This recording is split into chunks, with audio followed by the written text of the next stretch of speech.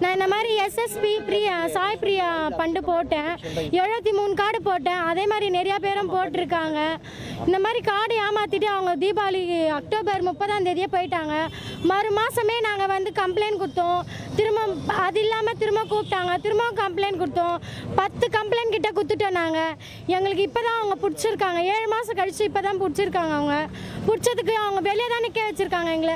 உள்ளே கூட எங்களை அனுப்புறது இல்லை இப்போ. நான் எங்களுக்கு எப்படி காசு வருது நாங்களாம் எப்படி பாதிக்கப்பட்டிருக்கோம்? அவங்க செத்தா ஒரு குடும்பம் தான் சாவும். நாங்கள் செத்தா பத்து குடும்பம் இருபது குடும்பம் சாவும். காசு எல்லாம் கஷ்டம் சரி. வீட்டு வேலைக்கு போய் கஷ்டப்பட்டோம் நாங்கெல்லாம். இப்ப நாங்க சும்மா ஒன்றே கஷ்டப்படல நாங்கள் நாங்கள் ஒன்றும் சும்மா காசு வந்து நாங்கள் போடல. வீட்டு வேலைக்கு போய் கஷ்டப்பட்டு நாங்கள் போடுறோம். இந்த காசு எங்களுக்கு எப்படி வட்டி தேவையில்லை. எங்கள் கட்டின காசு கொடுத்தா போதும். எங்களுக்கு வந்து அசிங்கமாக வீட்டாண்ட வந்து கத்துறாங்க. நாங்களும் பசங்க வச்சுருக்கோம். எங்களுக்கு எவ்வளோ கஷ்டம் இருக்குது நாங்கள் இது பண்ணுறோம் எங்களுக்கு எங்கள் காசு வந்தால் போதும். எங்களுக்கு வட்டி இல்லாமல் எங்களுக்கு அசல் கொடுத்தா போதும்.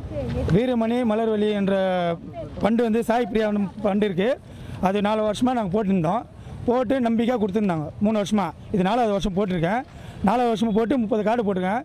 மாதத்துக்கு ஆயிரரூபா பன்னெண்டு மாதத்துக்கு கட்டினா பன்னெண்டாயிரம் ரூபாய். அது மூவாயிரம் ரூபாய் சேர்த்து கொடுக்குறாங்க ஆசத்தில் முப்பது பேர் பிடிச்சி கொடுத்தேன் முப்பது பேர் கார்டு தான் இது. அது பிடிச்சி கொடுத்ததுனால தரேன் நம்பிக்கைன்னு சொல்லிட்டு ஒரு தீபாவளி முன்னாடி அஞ்சாம் தேதிக்குள்ளே தரேன்னு சொல்லியிருக்காங்க. அது அப்புறமா பத்தாம் தேதியான்னு சொல்லி அதோட ஏமாற்றி போயிட்டாங்க.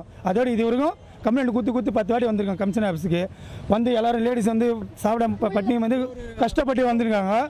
அது இல்லாமல் எங்களுக்கு வந்து வீட்டுக்கு வந்து அடிக்கடிக்கு கட்டுறவங்களாம் வந்து கேட்டு எங்கள் சட்டை போடுறாங்க. நாங்கள் போலீஸ்கார சொல்லியிருக்கோம் வக்கீல் வச்சு பேசுகிறோம் வக்கீல் வரை வந்து முன்னாடி வந்து கம்ப்ளைண்ட் கொடுத்துருக்காரு எங்கள் வக்கீல் வந்து.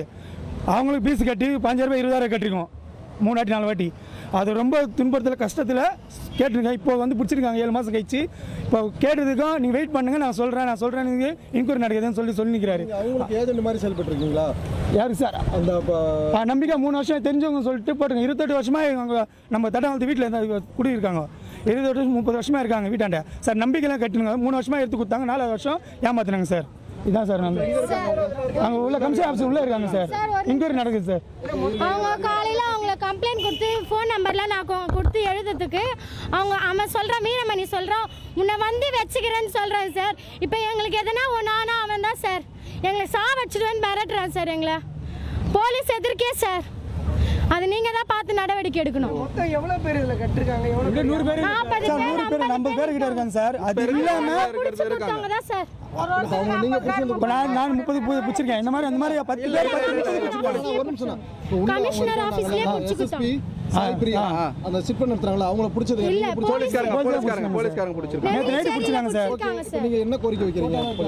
எங்களுக்கு எங்கள் காசு எங்களுக்கு வந்து நாங்கள் எல்லாரும் கொடுத்துருவோம் சார் பப்ளிக்கு அவ்வளோதான் சார். எங்களுக்கு அவங்க கொடுத்தா எங்களுக்கு நிம்மதியாக இருக்கும் சார். எங்கள் பிள்ளை குட்டியா படிப்பு வேலை எதுவும் நிலையில் கட்டி போக முடியல. வேலைக்கு போக முடியல. அவங்க அவங்க வந்து அவங்க வேலை இல்லை சார். இதுதான் சார். மல்லிகை கடை வச்சுருக்கோம் பாஸ்போர்ட் கடை வச்சிருக்காங்க சார். உங்க பேரு? என் பேர் அந்தோனி சார். செய்திகளை உடனுக்குடனும் துல்லியமாகவும் தெரிந்து கொள்ள சப்ஸ்கிரைப் பண்ணுங்க.